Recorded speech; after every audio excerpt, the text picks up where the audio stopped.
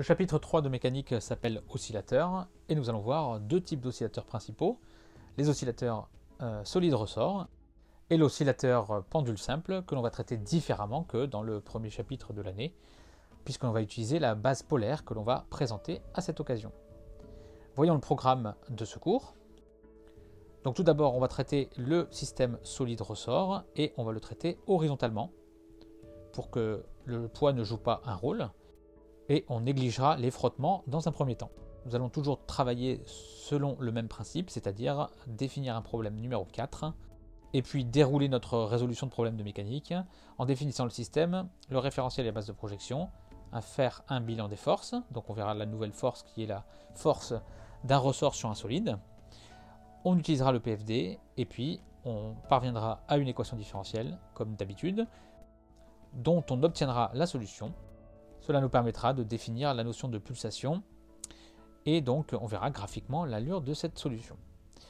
Une fois qu'on a fait le solide ressort horizontal et qu'on a découvert la force donc, de rappel d'un ressort, on peut étudier le solide ressort vertical, toujours sans frottement, et on verra euh, s'il y a une différence avec euh, le solide ressort horizontal.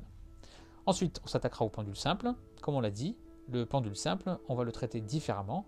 Donc dans la partie référentielle et base, base de projection surtout, on définira ce qu'est la base polaire, qui nous permettra donc de repérer, on verra le pendule simple par un seul paramètre. On fera un bilan des forces, une deuxième loi Newton, et puis nous verrons quelle équation différentielle on obtient, et on résoudra cette équation différentielle pour voir quel est le mouvement de la masse suspendue à un fil. Enfin, dans un dernier temps, on étudiera le système solide-ressort avec frottement fluide. On a choisi d'utiliser le système solide ressort, mais on peut faire exactement le même travail avec le pendule simple et des frottements fluides. Donc ça nous permettra de transférer en fait euh, ces frottements avec n'importe quel oscillateur. On déroulera notre résolution, donc euh, on obtiendra une équation différentielle, nouvelle cette fois-ci, qui donnera euh, naissance à différents régimes. On verra comment on résout cette équation différentielle qui est un peu différente. Donc euh, on aura une équation caractéristique à déterminer et puis les solutions qui donneront euh, en fait trois types de solutions. Un régime pseudo-périodique avec des oscillations amorties, un régime apériodique, donc pas d'oscillation, et entre les deux, le régime critique. Commençons par notre système solide ressort horizontal sans frottement et décrivons tout d'abord notre problème numéro 4. Donc il s'agit d'un point grand M de masse petit m accroché à l'extrémité d'un ressort horizontal sans masse le point grand M se déplace sans frottement sur le plan horizontal.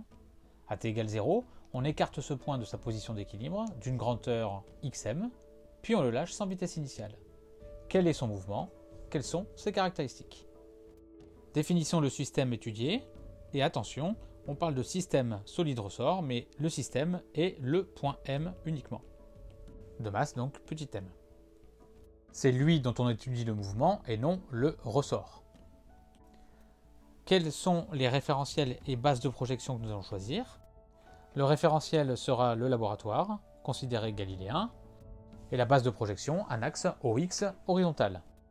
Nous allons devoir maintenant réaliser le bilan de force avant de passer à l'utilisation de la deuxième loi de Newton. Pour faire ce bilan, un schéma semble judicieux. Donc on va dessiner la surface horizontale sur laquelle est le ressort et le point M qui va se déplacer sans frottement on va faire un support de ressort, un ressort ici, une masse, donc M. Et donc la première force qui intervient est bien sûr le poids, vertical vers le bas, qui va être exactement compensé par la réaction du support, puisqu'on a dit qu'il n'y avait pas de frottement. D'ailleurs, ces frottements sont ni fluides ni solides. Et la dernière force, qu'on va étudier juste après, c'est la force de rappel du ressort, l'on va appeler grand F. On peut également en profiter pour indiquer notre axe X qui va être ici, dirigé vers la droite. Pour travailler sur la force de rappel du ressort, on va se diriger vers ces schémas qui sont un petit peu plus jolis à droite. Et donc on voit deux choses déjà, qu'il y a trois schémas différents, puisqu'il y a une situation où le ressort est comprimé, une situation où le ressort est étiré, et une situation où on est à l'équilibre, le point M est à l'équilibre, donc le ressort est à sa longueur à vide. Cette longueur à vide se note L0, alors que la longueur du ressort se notera euh, petit l. La première chose qu'on va définir, c'est l'allongement du ressort. Il est tout simplement égal à la longueur du ressort moins la longueur qu'il a à vide. Cela signifie que cet allongement peut être négatif lorsque le ressort est comprimé, ou positif lorsque le ressort est étiré. Eh bien, la force de rappel du ressort F, en norme, s'écrit F égale K fois l'allongement du ressort. Nous n'avons pas mis de vecteur sur F, donc on parle bien de la norme de la force de rappel.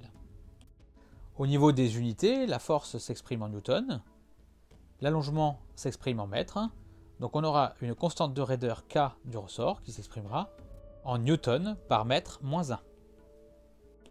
On peut remarquer aussi que d'après la position d'origine que l'on a choisie pour notre axe OX, eh bien l'allongement du ressort, L moins L0, va correspondre à l'abscisse petit x qui permet de repérer le point M dans son mouvement. Donc écrivons que dans ce cas précis, l'allongement L moins L0 vaut x. Attention donc, cet allongement ne vaut pas forcément x, cela dépend de la position d'origine que l'on a choisie pour l'axe OX. Donc ici, nous avons choisi l'origine au niveau de la position d'équilibre du point M, et donc le ressort a pour longueur L0, sa longueur à vide. Maintenant, regardons le sens de la force de rappel. Sa direction est horizontale sur les deux schémas, mais nous voyons que le sens est différent selon si le ressort est comprimé ou si le ressort est étiré. Donc dans un premier cas, regardons quand il y a compression du ressort. Eh bien, la force de rappel est dirigée vers la droite donc doit être dirigé suivant plus l'axe OX. Mais l'allongement du ressort, L moins L0, va être négatif. Donc si cet allongement est négatif, pour avoir une force qui est dirigée suivant l'axe plus OX, il va falloir rajouter un signe moins. Donc on va pouvoir écrire que F est égal à moins K, la constante de raideur du ressort, fois L moins L0, fois le vecteur unitaire qui s'écrit ici, EX. Donc on rappelle, hein, ici on a mis un moins car l'allongement étant négatif, et eh bien ici on va avoir moins moins fait plus, et donc la force va bien être dirigée suivant plus le vecteur unitaire EX. Comme l'allongement vaut x, on pourra écrire donc la force moins kx EX. Dans le cas de l'étirement du ressort, et eh bien cette fois-ci, l'allongement du ressort vaut L moins L0, et va être positif. C'est ce qui est indiqué d'ailleurs ici. Si l'allongement est positif, mais que la force F est dirigée suivant moins le vecteur EX, eh bien, il faut toujours un moins dans l'expression. Donc on va écrire une nouvelle fois que F vaut moins KL moins L0 EX, donc moins KX EX une nouvelle fois.